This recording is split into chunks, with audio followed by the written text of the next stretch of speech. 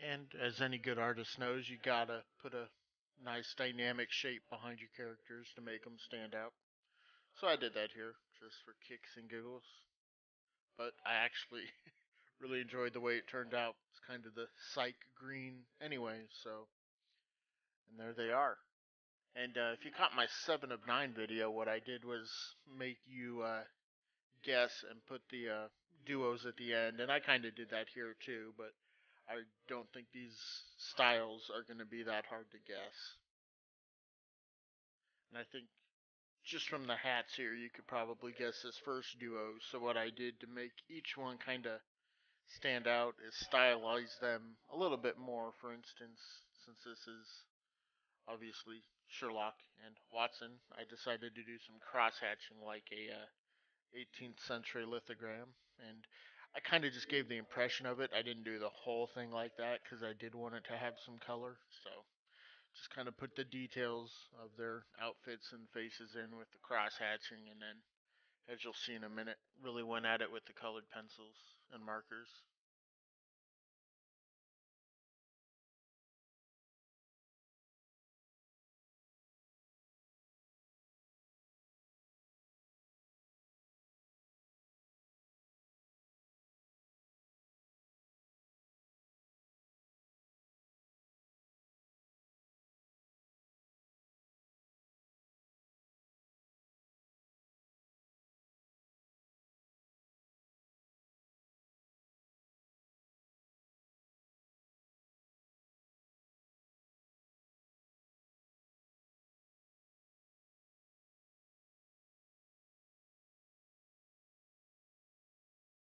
On the second style here, I really didn't have much to change on the first character, uh, but I chose them for any of you diehard Psych fans. I think you'll know the uh, house of these two was my inspiration. So it's hard to change SpongeBob up much to uh, make him look like Shawn, other than having him do the patented pose. But I definitely wanted one or two with a uh, pineapple in it, and this is the first one here. Also, uh, I changed Patrick up a little bit. He is obviously not purple in SpongeBob. Uh, that's a little Easter egg for you uh, hardcore Psych fans, and I'm not going to tell you why he's purple. I uh, kind of want to see if you can maybe figure that out and drop a comment if you think you know why I made Patrick purple. In this third style, I uh, wanted to highlight the blueberry, which is the car that they drive around in, and uh, I didn't have much space in the size of the squares I gave myself here, so most of it is obscured, but I think the characters let you know what it's supposed to be anyway. But yeah, I think I might dedicate a picture to uh, making the blueberry an actual Batmobile. Unfortunately, I didn't realize my camera had stopped recording there, so lost a little bit of the inking, but figured it out before I got too much further.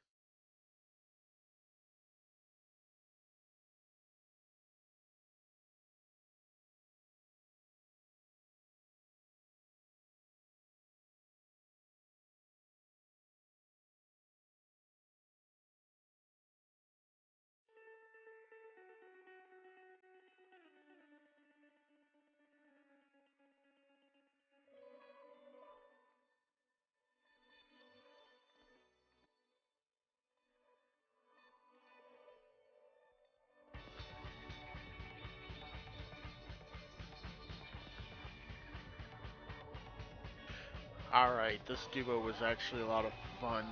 I had fun with this one. Uh, did it in a very comic booky style, but I did like switching their roles up a little bit. It seemed fitting, a very Shawn and Gus thing to do. Uh, I didn't really make either one of them completely. It's more like a cosplay if they went to a Comic Con or something as these two rather than making them the actual characters, but I like how it turned out. I think it's very fitting to the psych feel of things. This is also where I started to kind of give them a story, you know, more than just, hey, these guys are this, you know, you could kind of see the argument they had before they put on their costumes and who kind of won in this case. I would say Gus.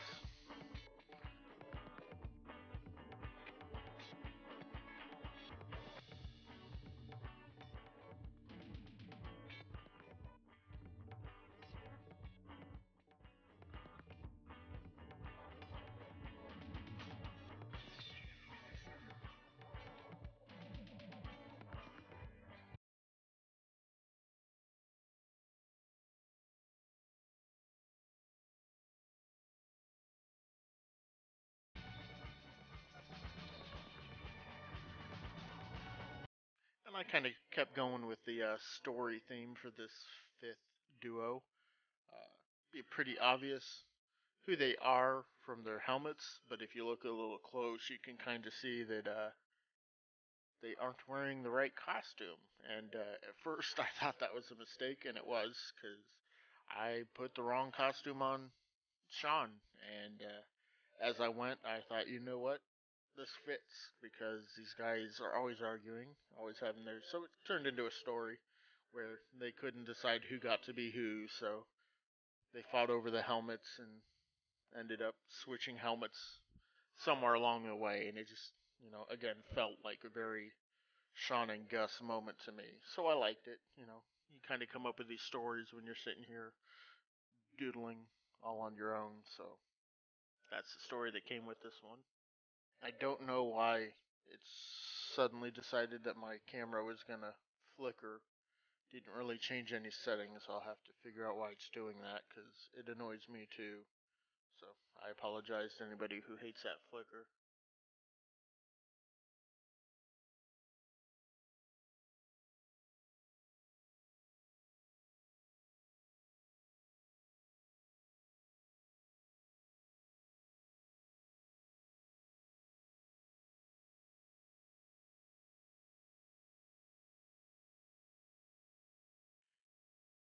And since this paper is a bit smaller and I made the scores smaller to make it a little more dynamic, I only had one more duo to do. And again, I kind of really liked the blueberry and hadn't really featured it, so I made this duo kind of without the characters, just the car. But I still think you know what duo they are if you're a fan of the show and a fan of 80s cinema as they are. It's a pretty famous scene from an 80s movie.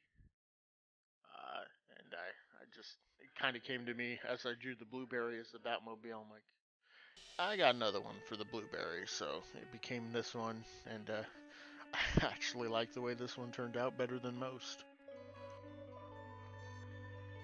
And yep, it's obviously uh, Thelma and Louise driving off at the end, and there you have it, six dynamic duo changes of Shawn and Gus as six other teams. As uh, I had a lot of fun with this one, so probably do more. Thanks for watching. Please like and subscribe if you enjoy my content.